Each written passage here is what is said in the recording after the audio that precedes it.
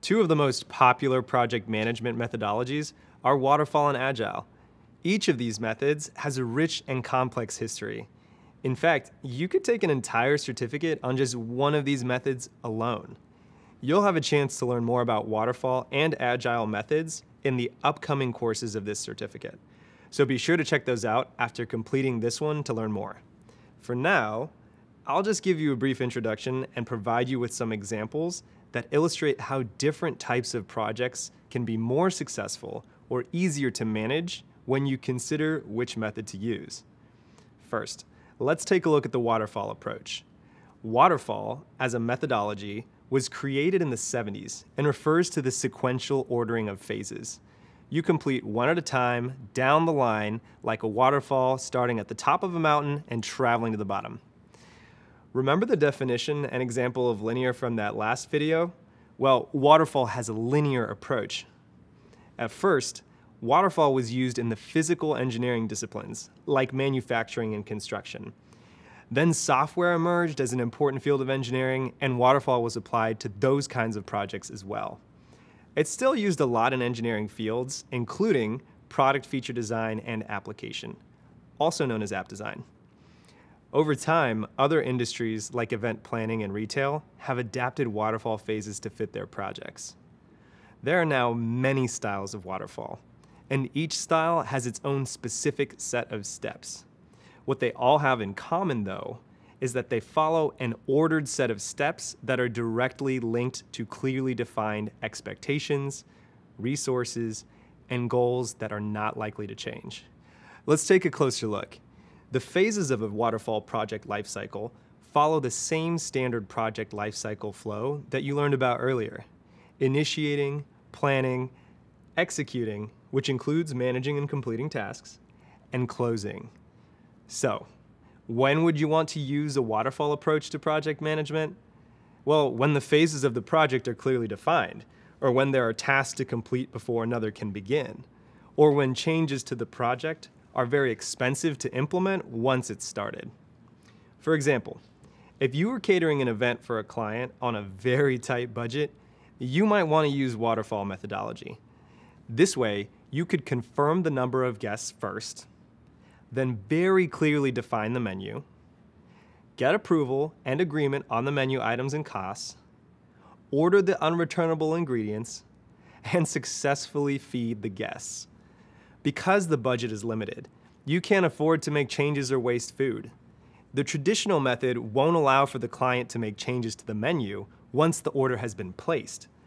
You can also reserve tables, chairs, and dishes because you know exactly how much and what kind of food is being prepared. A well thought out traditional approach to managing a project can help you reach your desired outcome with as little pain as possible during the project implementation.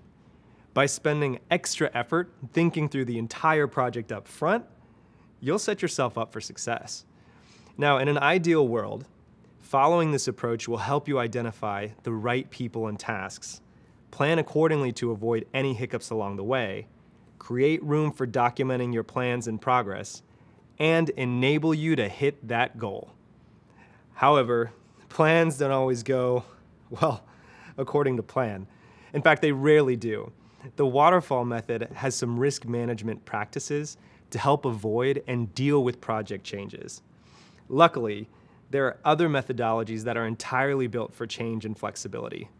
One of these is Agile, another popular project management approach. The term Agile means being able to move quickly and easily. It also refers to flexibility, which means being willing and able to change and adapt. Projects that use an Agile approach often have many tasks being worked on at the same time, or in various stages of completion, which makes it an iterative approach. The concepts that shaped Agile methodology began to emerge in the 90s as a response to the growing demand for faster delivery of products, mainly software applications at that time. But it wasn't officially named Agile until 2001. The phases of an Agile project also follow the project lifecycle stages we described earlier, generally speaking. However, rather than having to always go in order or wait for one phase to end before starting the next, agile project phases overlap and tasks are completed in iterations, which in Scrum are called sprints. Scrum is a form of Agile that you'll learn more about in the course focused entirely on Agile. And by sprint, we do not mean running a race as fast as possible. In this case, sprints are short chunks of time, usually one to four weeks, where a team works together to focus on completing specific tasks.